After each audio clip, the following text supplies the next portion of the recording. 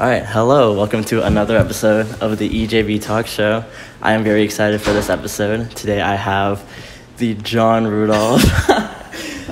John is a faculty member here at the University of Toronto, also at the Glenn Gould School and the National Youth Orchestra of Canada. He has served as the principal percussionist for the TSO for 20 years, and he has also appeared as a soloist with the Vancouver Radio Symphony. Uh, CBC Radio, CBC Radio Orchestra. Yeah. Right. Uh, but yeah, you know, how are you doing today, John? I'm great, Emil. How are you? I'm doing well. Um, so first, like big question out of the way. Like, how has it been being retired from the Toronto Symphony? Surprisingly good. I so? thought I. Uh, uh, it's gone very well. I've really enjoyed retirement. Um, I miss playing music with the Toronto Symphony. Right. I don't miss going to work, if that makes sense. Having to get up and have a rigid schedule. Right. I've enjoyed exploring other uh, projects. I've loved going to concerts. Right. I hear things in the audience that I wasn't aware of in the back of the orchestra. Hmm. And uh, I love hearing my colleagues. As everybody knows, my daughter's in the Toronto Symphony. Right. And uh, my wife and I, my wife Kathleen and I, love going to concerts and seeing Teresa. Right. Um, of course, my friends Charles, Joe, and David in the percussion section, and seeing my students play uh, in the section, uh, being hired as extras. right. So uh, Kathleen and I just traveled to Chicago to hear the TSO, Nice. and that was fun. And um, two of the players were Chris Madigan and Dan Morphy, who studied with me at the Right. at the Glenn Gould School and NYO. That's awesome. And so yeah, I'm very proud to see my students up there. That is very well. great. Right. Um, I think I want to work a bit chronologically. I usually do that in every episode here. Okay. But I usually ask if you could recall like what your earliest musical memory would be that music has like impacted you. My very earliest musical memory. That you could recall. All right, it was. Uh, I can think of two. okay. Probably the most impactful was seeing a marching band in a small town in Pennsylvania. Okay. My uh, grandfather wasn't alive at, at the time. He, he passed away when I was six months old, but he was a band leader. Oh wow. He, he led the Eagles Band, it was called, in a small town in the coal country of Pennsylvania, Mahanoy City. And I remember we would visit there in the summers, the American holiday of the 4th of July. I, I, I don't know how old I was. Not, probably not that young, seven or 8 I wasn't playing music yet. right. And, but I remember being inspired by seeing this band come down the street in front of my grandmother's house. She was she was still alive, and we visited her and to see the band go by, uh, especially the drum line. The drummers went by, and it just really inspired me. The second uh, other memory was in my grandmother's house, sitting in front of the record player, and the records in those days were not LPs; they were 78s, small. Okay. They didn't. But my grandfather had a collection of uh, marches by John Philip Sousa.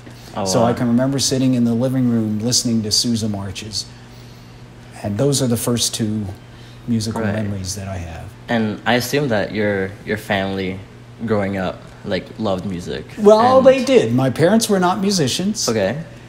The inspiration came from my aunt, who was a Catholic nun, my mother's sister, and she was direct, the director of music at a small, it was a college at the time, it's now a university. Uh, it's called Immaculata University. It was Immaculata College. Right. And uh, she was head of the music department. And uh, we knew her as Aunt Frances, but as a Catholic nun, they took names, Right. and she was Sister Regina Therese. Wow. And uh, everybody loved her. And she was convinced I had musical talent. Mm, I was the oldest of my siblings. Okay. Nobody was studying music. Piano lessons were not a thing.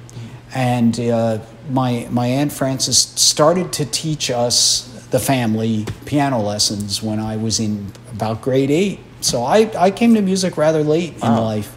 And it wasn't until high school that I started taking drum lessons. She, Aunt Frances, pushed me to be in the band. You should be in the band, Johnny, she said. and I thought the quickest way to be in the band would be the quickest. I really love the marching band. I want to get out. And maybe that sounds crazy. um, but I really loved the marching band. Just kept it stuck over here. I, I still remembered that, and I knew the fastest way to get out there was playing drums, and they Right. gave me the bass drum. really? You know, if I played saxophone or something, and I have to learn to play the saxophone before I could march, but with drums, you could, you know, I could keep time. They they trusted me to do that, and I started carrying the bass drum. Mm-hmm. Right. And yes, it was heavy, but I loved that part of it. Right. And uh, we had a concert band as well. But and how how are those experiences like starting playing the drums for you in I assume like towards the beginning of high school, right? yeah, it was at the So- start of my high school. So how would you describe like your like personal interest growing in the drums Uh, from there?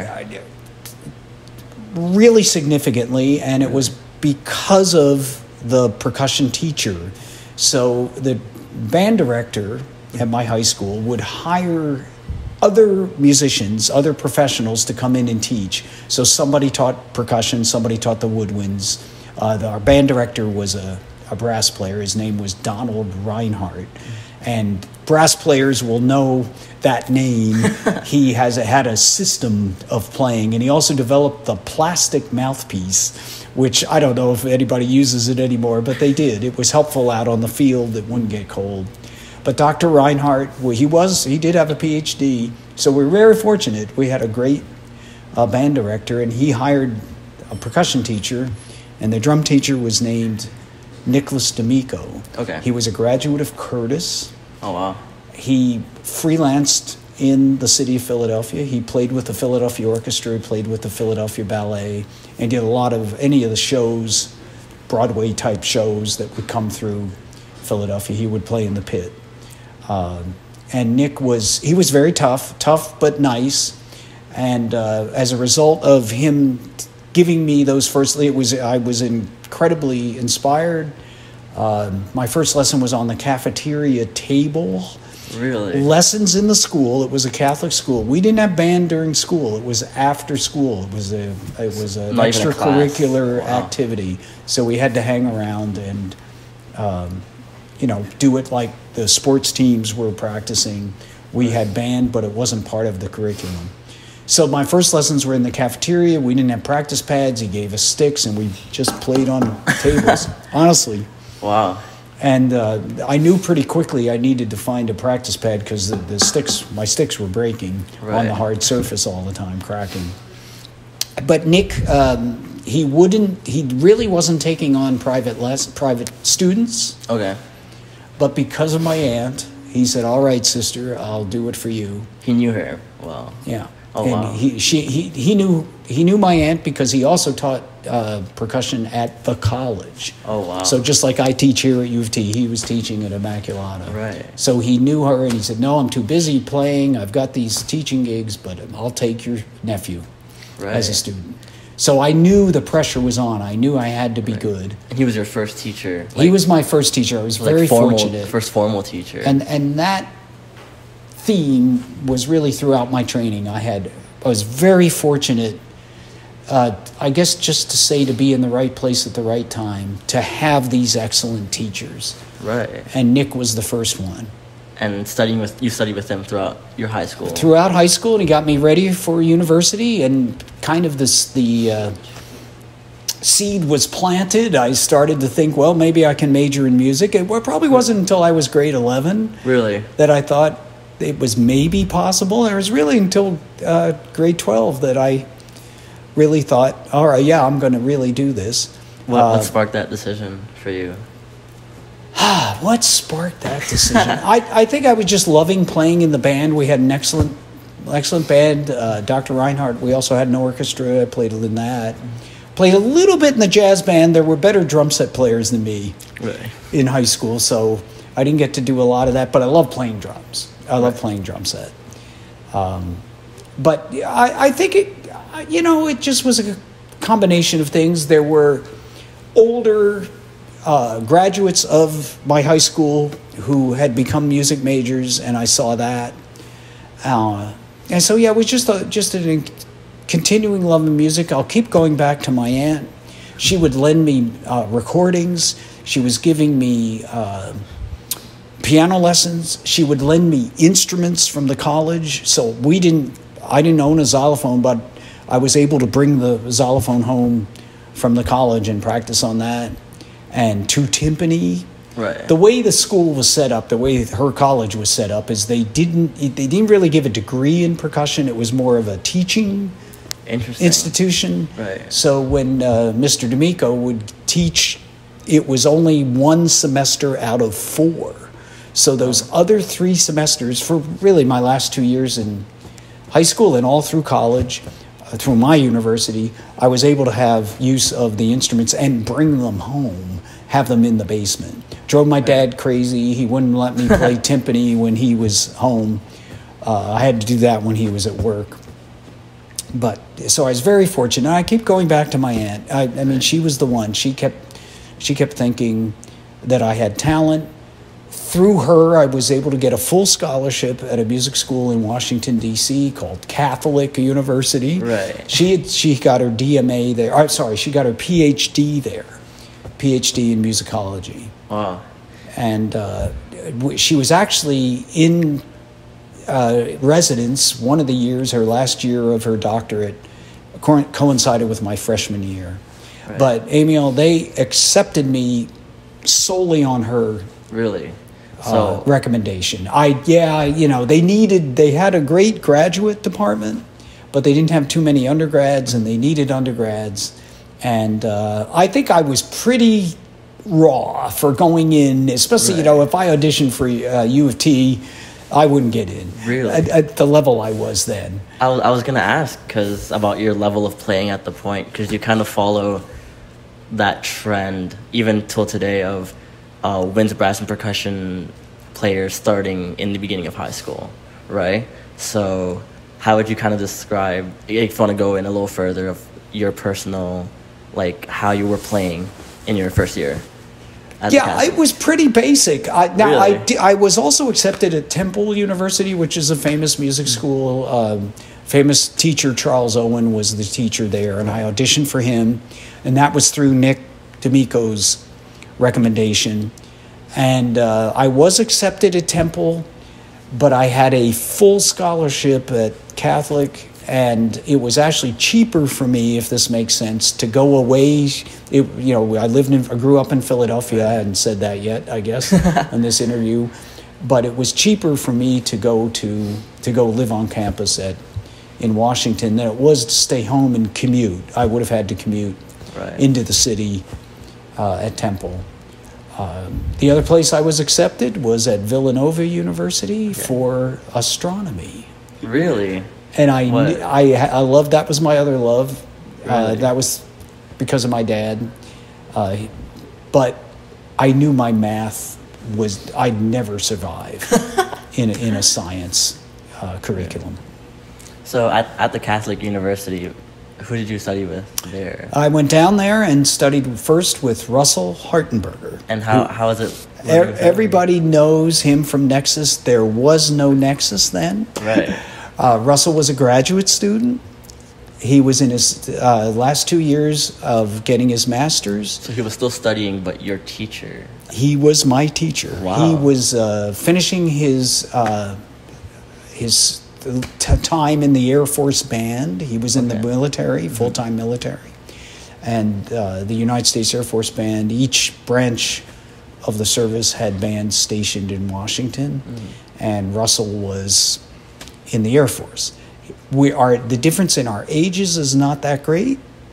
Yeah, was, yeah. It's about six years. He was only about six years, but man, the difference in knowledge and Really? ability was the it was quite a, a, a gap, and I was very fortunate to get him as a as a teacher. He was on the. It's probably too long a story. I'll I'll try to keep it brief, but the uh, the draw the the I, I, the reason people went to study at Catholic U were they were mostly graduate students. They were mostly these guys in the full time military. Uh, Catholic would let you study with anybody. Really? So they had they did have teachers on staff, and Russell was the percussion teacher. But the reason people went there, it, um, they would go study in New York or they'd go to Cleveland. Now Cleveland, uh, or sorry, Catholic would not pay for the transportation or plane fare to go to these places or train fare, but they would pay the teacher. So most of these guys in the Air Force and at the time, or in the Army, in the military, everyone was drafted at, in in the United States. Wow. So you there was what I is conscription the word I forget, but you were you were required to register for the draft. Some people were lucky enough to get deferments, but the majority of young men, and it was men in those days, were uh, conscripted into the military. Right. and uh, so these guys were coming out of when okay when i was just as an example when i was in the catholic u orchestra i walked in there. Uh, timpanist was a man named richard ecton he was from juilliard. He was in the army another man who people may know the name garwood whaley who's great writer educator he was in the army band Right. a guy named al Mer- uh, gar was from juilliard al mertz was from eastman uh, he was a longtime freelancer after he got out of the. He was in the Marines. Long when he got out, he was a longtime freelancer in Washington D.C. Uh, Russell was there. He was finishing his. He had to play in the orchestra as part of his uh, requirements for his masters. And I caught just the end of Russell. We just played. We played a few concerts together. So those those were the those were the type. You know, Russell was from Curtis. So Curtis Eastman, Juilliard. You know, I'm I'm in in the section with these guys. I was out of my league. They were so they, but they were very kind to me. Right. They were very kind to me and and nurtured me along. And just to be there in this, I was surprised they let me in the orchestra, in the school orchestra, because it was mostly graduate students. And uh, anyway, I would. I think they just the director was a horn player. His name was Robert Ricks, and I think he wanted to bring in some undergraduates just so there was kind of you know we we'd hang around for four years and and be there. But that was the environment, and and yeah, Russell was there, and. Uh, when oh I mean I have too many stories and all, all okay. of my all of my students listening will will know oh John and his stories. But here's another one. I got to school and they said okay you're studying with Fred Begun who's another famous name. He was the timpanist of the National Symphony. So I phoned him up. Hello Mr. Begun like to study with you. He said okay uh, what does the school pay for lessons? And you have to come to my house. I said, okay, fine. $10 an hour. Yes, $10 a lesson. Wow. That's. Uh, well, I charge 15, he said. I said, oh, well, I can't, I don't know where I'd get $5 a week. I, you know, I didn't have a job, you know, so I said, okay. So I went back to the dean and I said, well, Mr. Begun charges too much.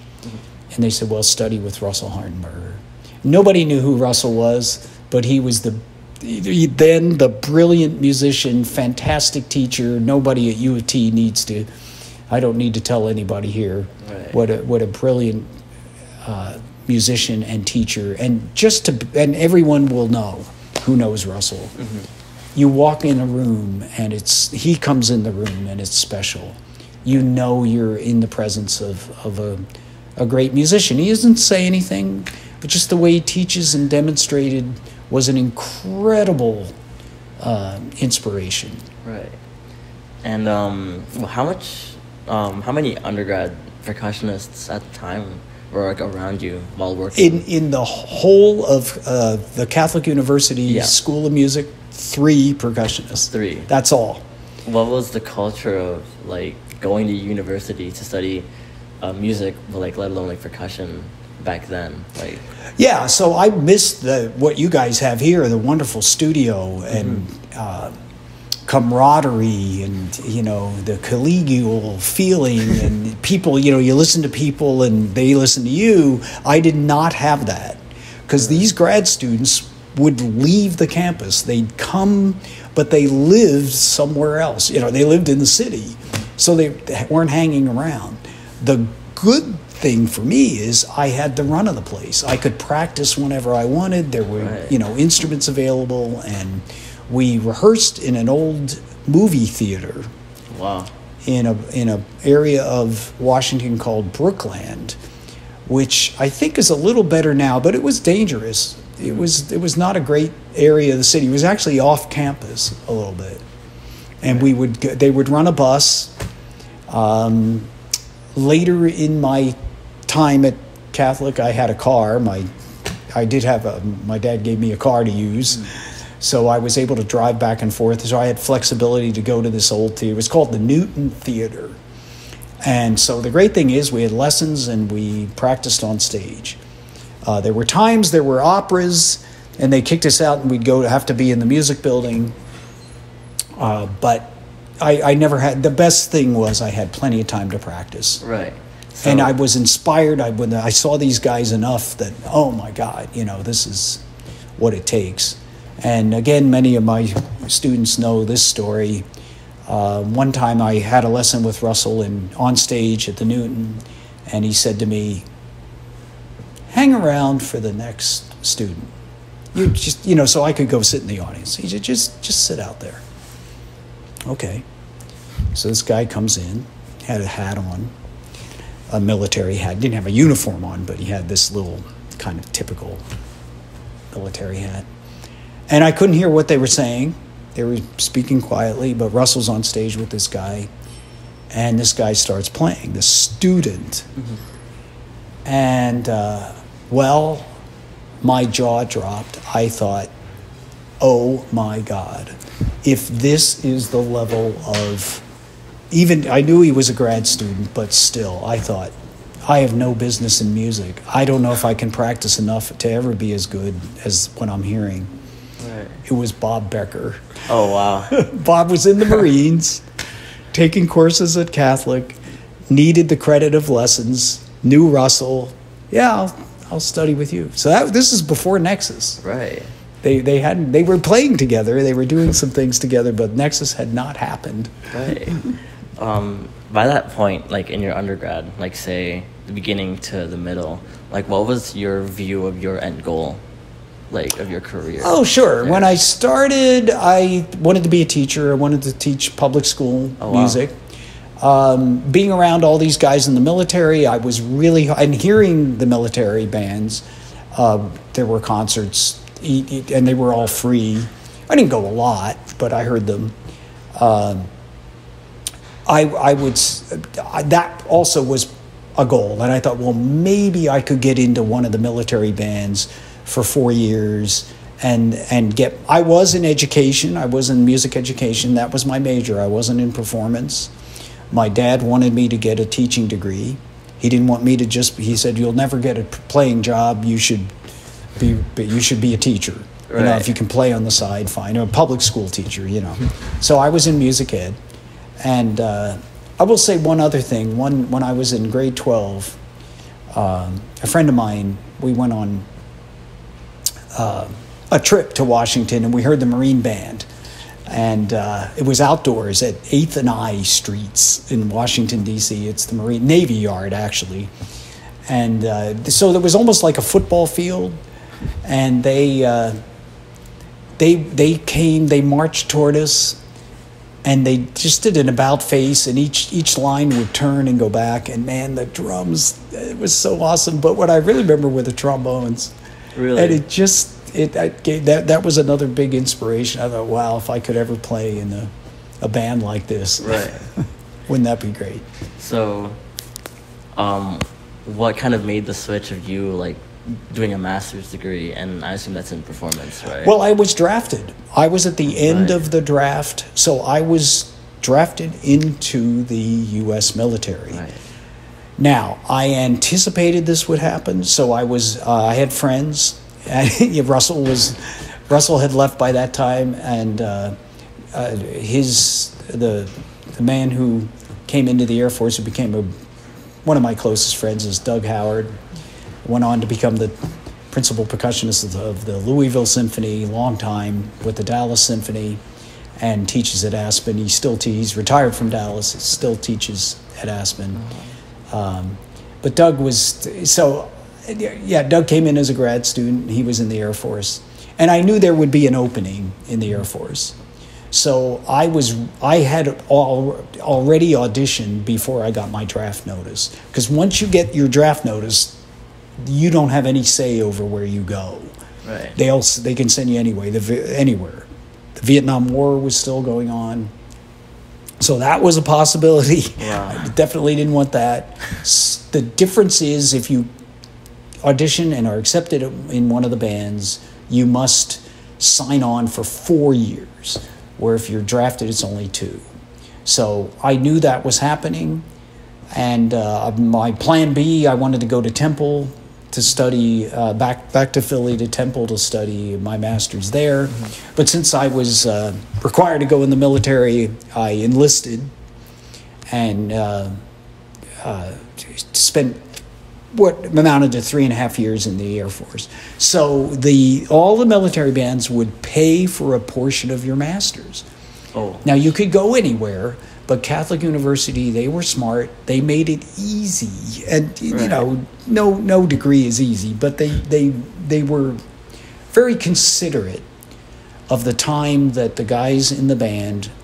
We went on two three week tours, one in the spring and one in the fall. So we missed three weeks of school, and th- so you missed three weeks or two weeks. I guess was it? I'm, I'm, I, rem- I recall three. Somebody hearing this will correct me, one of my old friends. But uh, let's say it was two weeks, so you missed two weeks of classes. That's not good. But the professors they wanted they wanted these guys in school. It was good for Catholic U to say, you know, Russell Hartenberger has his degree Right. from Catholic U. Or he has his master's, And- Catholic U. Um, your time. How would you describe your time in the military, like, in terms of like your musical growth? Like, you th- did you? Well, would you say there was a lot of like it was- development there? Yes, it was uh, huge. Played a ton of notes. Yeah. And now, which I, the experience I did not have in university, I had in the band. I had great players. And uh, when I started, Doug Howard, who I keep going back to Doug, but he was a huge influence. And by the way, anybody listening to this, Doug is coming to Toronto. He's going to give a master class at the uh, Glenn Gould School on April 14th. So I'll be sure to invite everybody from U of T. Uh, but Doug, Doug is, you know, words fail to really describe what a great musician. We roomed together. We lived together for two years Wow. as, as well. And uh, yeah, we practiced together. We, you know, we practiced at the same time. We'd play duets. We used to play duets on tour. But it, okay, to answer your question, yes, to be around great musicians and to play great music, I was fortunate. We played a lot of transcriptions. The harpist, yes, we had a harpist in the Air Force band, concert band, was a fine arranger. His name was Lawrence Odom. He arranged the Pines of Rome, oh, the whole Roman trilogy, the Fountains of Rome, and Roman festivals for band. He he uh, arranged Daphnis and Chloe. He arranged the suite from Rosenkavalier. Wow. So I and as a favor to the percussionists, the the wind players hated it. Larry didn't change the key. So you know a lot of band transcriptions they'll put it in B Right. flat. I, there's a famous uh, And Bess Right. that's in B flat. Larry, it was in the original key. So when I learned the say the Glock part from Daphnis uh, or Pines of Rome, it was in the original key.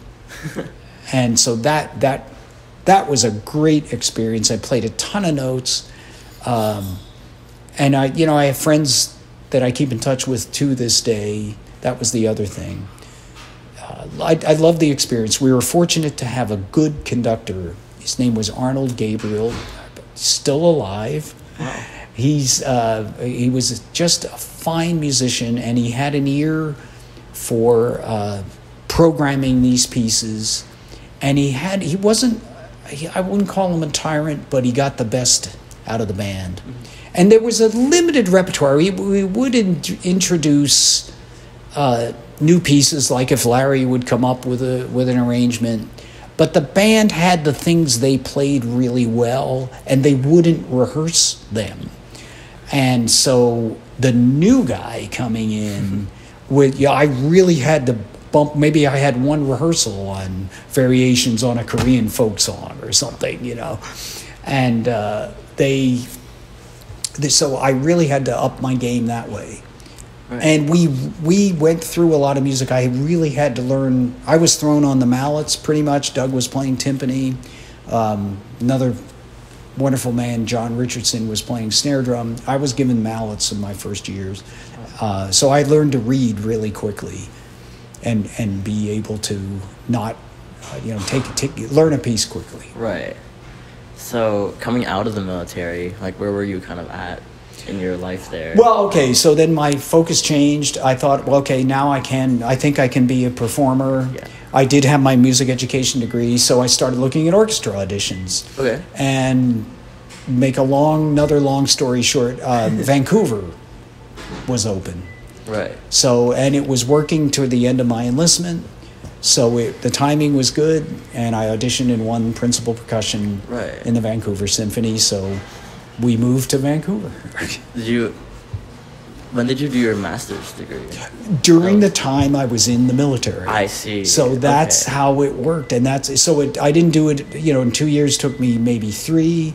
So you we would rehearse in the morning, go to class at Catholic U in the afternoon. Maybe maybe if there was a concert at night, you know. But they were the Air Force was extremely. Um, uh, they they just they made it possible. They did. They just made it possible for us to get our our our our time in. They didn't make us really have to come back to the barracks and you know paint the barracks or something. They we had the afternoon off, Right. and we were able, and that's when we were able to go to school. And, and between the Air Force and Catholic, and the military paid for, they paid for seventy five percent of the tuition.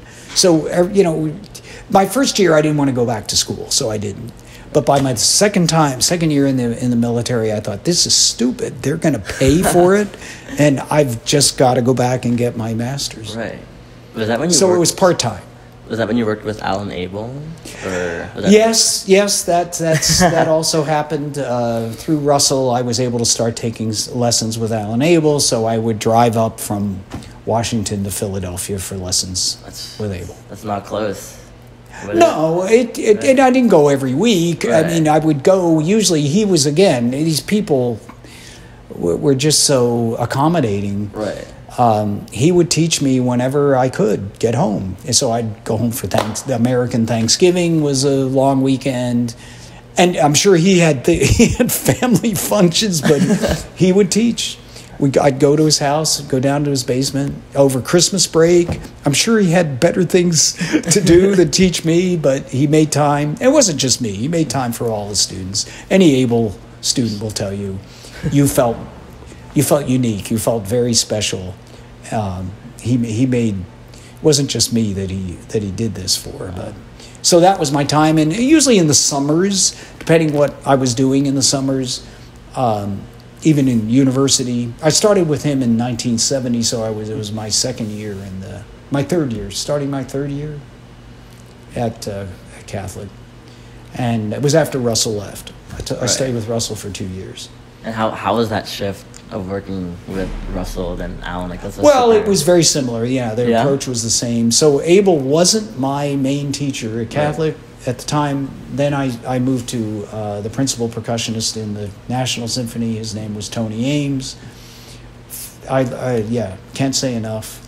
So Tony and Tony, he was fine. You want to go study with, take some lessons with Abel, sure. But every week I'd have lessons with Tony Ames. He was my main teacher then for my last two years. right. So I was kind of studying on the side with, if that makes sense, I see. I see. I see. with Al.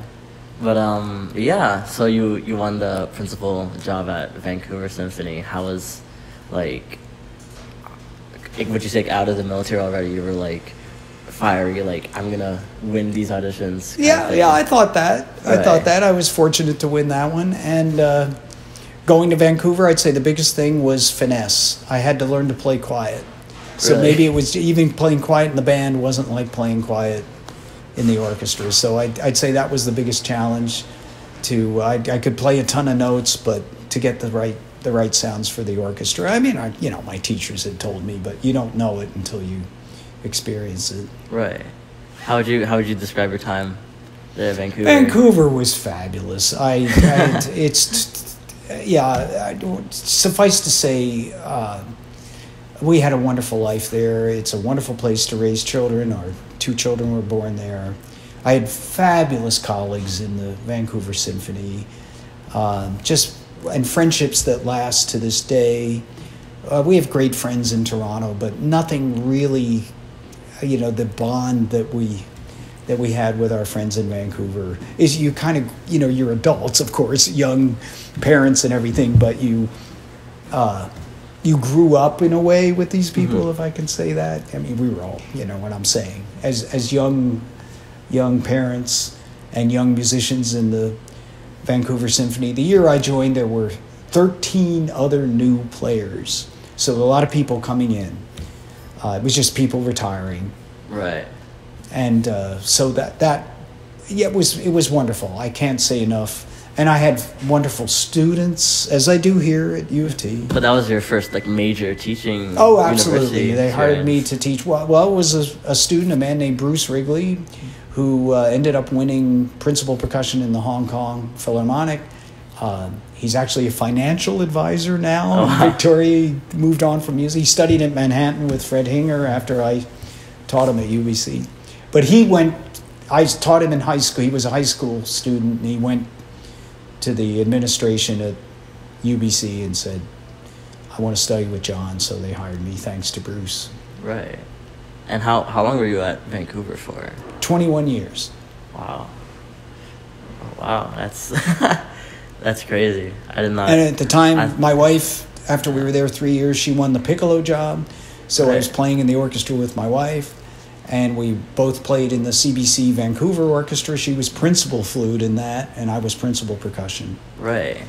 And at the end of our time in Vancouver, our daughter Teresa uh, plays the violin. Uh, was playing the violin, switched to the viola. She was in high school. She was hired as an extra, so the three of us played together. That early on. Yeah. Oh wow. yeah. But um yeah, so moving from Vancouver to here, like how how was that for you? You you you took the you took N one the TSO principal percussion audition. Uh, yeah, it was uh, it was an opportunity I couldn't pass up. A lot of Right. people will say, "How could you leave the beauty of Vancouver?" But it, you know, the Toronto Symphony is special, special. In the, we always knew it. We heard them on tour when they would come out west, and the opportunity to join this great orchestra. How would- uh, how would you desc- something I couldn't pass up?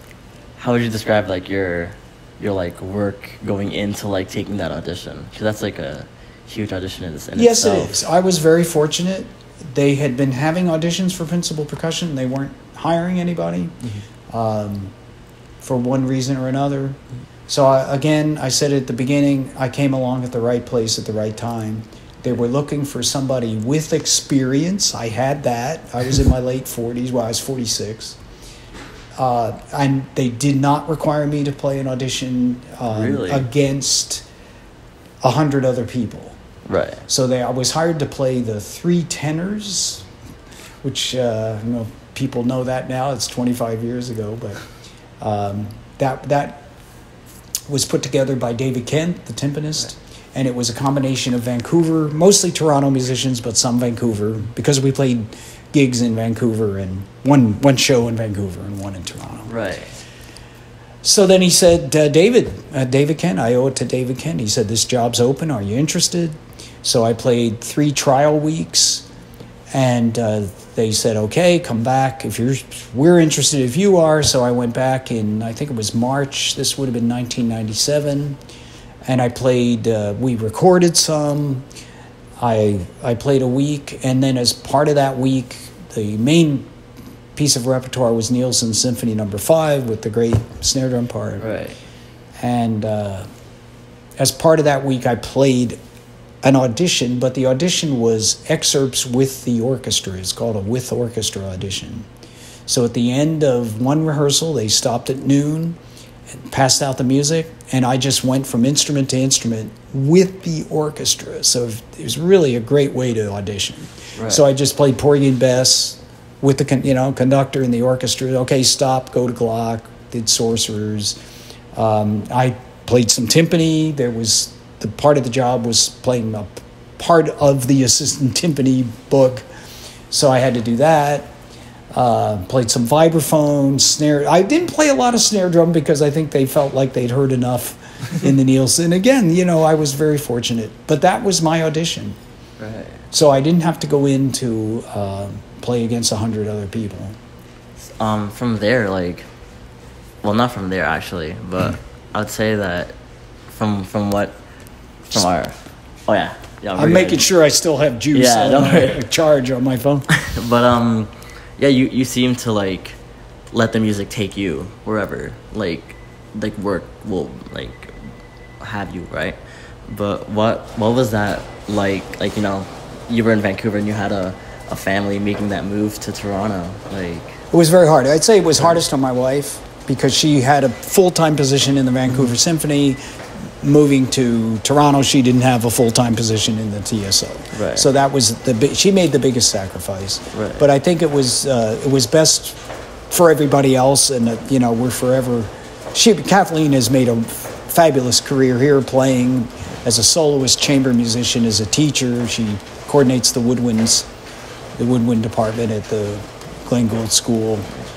Uh, yeah, coaching chamber music, playing chamber music, um, and freelancing, playing in various orchestras. Right. When we moved here, she continued to play in the CBC Vancouver Orchestra. So she would fly back and do a gig, you know, for a week, stay with friends, and you know, then come back to Toronto.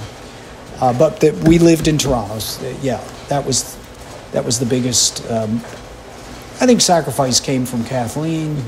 Uh, Teresa at the time was studying at the Cleveland Institute of Music, so it it was a move for her. But you know, she was in school in Cleveland, Right. and our son Mike was in high school. Oh wow. So he had he that was a big change for him. He came to uh, Toronto. His first year was at Northern Secondary, and then uh, his last two years, Mike, correct me, so two or three, but uh, at the Etobicoke School of the Arts. Was he? He's not a professional musician. No, now, but he did play. He was a he's a talented musician. He played in high school, played clarinet in high school. Really? Yeah, but musical theater, and uh, well, I shouldn't say musical theater. He was in theater in the theater Right. department at ESA. What, like, was it kind of your goal? Like, my my children are gonna be playing music. Like, well, was- we wanted to give them the exposure. We wanted to give them the chance. Uh, Teresa, they both started Suzuki violin. Teresa was three. I think Michael, Mike might have been four. But we gave them the opportunity, and uh, with Teresa, it was obvious that was her calling, and uh, she loved it from the beginning. Mike, it was you know he liked it, but it wasn't his thing, and we we could see that, and we didn't force him to go any. Uh, they both took piano lessons, and we just exposed them to music. Right. But I think seeing their both their parents and knowing the lifestyle and hearing us complain at the dinner table about whatever politics are going on in the orchestra, you know, it was a huge part of their life. right. Uh, Teresa Teresa tells the story. She was in elementary school and she uh, she was meeting friends and she said to somebody, oh, you know, she's probably grade one or two, and she said, "What what is your what are your what what what instrument do your parents play?" Because all of our friends were in the orchestra. Right. She knew all the orchestra kids. She thought everybody's parent played music. right. So, uh, yeah, Wow. we just we gave them the chance, um, and uh, Teresa did become a professional musician. Right. When did you start teaching at the Glenn Gould School and here? Was it Early on at the Glenn Gould, um, the uh, dean at the time, Rennie Regehr, hired me. We knew Rennie. Kathleen and I from uh, a music camp on Vancouver Island, the Courtenay Youth Music Center. And uh, uh, so Rennie knew us when we got to town, and he hired us both. I started there before I started at uh, U of T. And Russell brought me to U of T mainly along with, uh, I think Beverly had been teaching at the time, but we were mainly to fill in when he was on tour with Nexus. Really? And then it, so what I taught maybe every student three lessons a semester, and then it just kind of grew from there.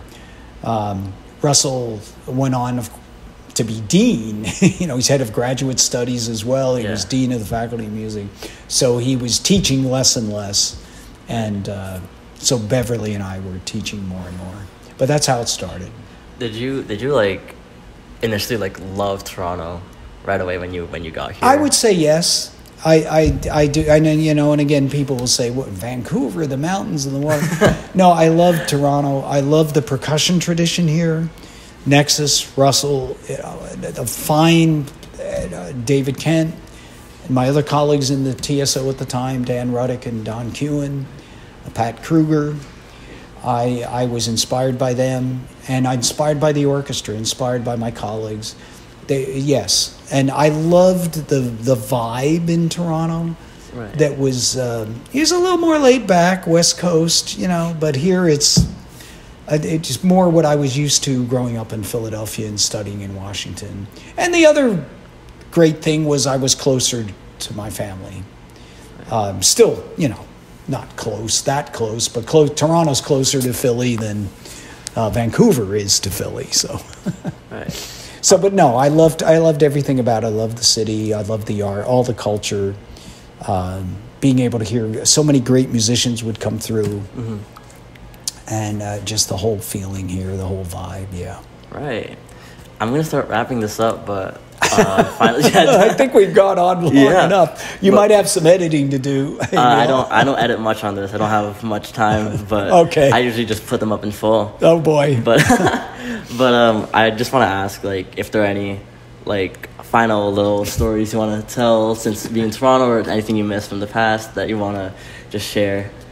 I, you know, we all have regrets, but Right. I, I think having retired, I look back on all the good times, and uh, you know, treasure my family, my my children, my my grandchildren. Uh, my wife and I love um, caring for the for the grandkids, and I uh, I just I think of the positives. I love coming here to inspire students. That still really is a passion of mine. Uh, I love sharing my knowledge. I guess my regret is the students I taught at UBC. I wish I knew what I know now. I, I would have been a better teacher. Uh, but I'm still learning. No, I, I, it's, it's just enjoy every day. It's a gift. It's a blessing. Uh, I try to do that, and and stay positive. Live in the moment, and you can. Uh, nothing's impossible. Work hard. Uh, have a dream. Live your dream. Do what you love. That, that's my message. Well, you, you heard it here. This is John Rudolph on the EJB Talk Show. This has been delightful talking to you, John. It's also like a pleasure working with you this year, last year, and going forward. And thank you again for doing this with me. Oh, it's my Yeah. pleasure, Amiel. Thank you for asking. But yeah. we've gone on a long time. You're you're very kind. Uh, No, I know. yeah, I love working with you as well. Uh, thank you. Well, yes, uh, thank you guys for watching. Thank you. Okay.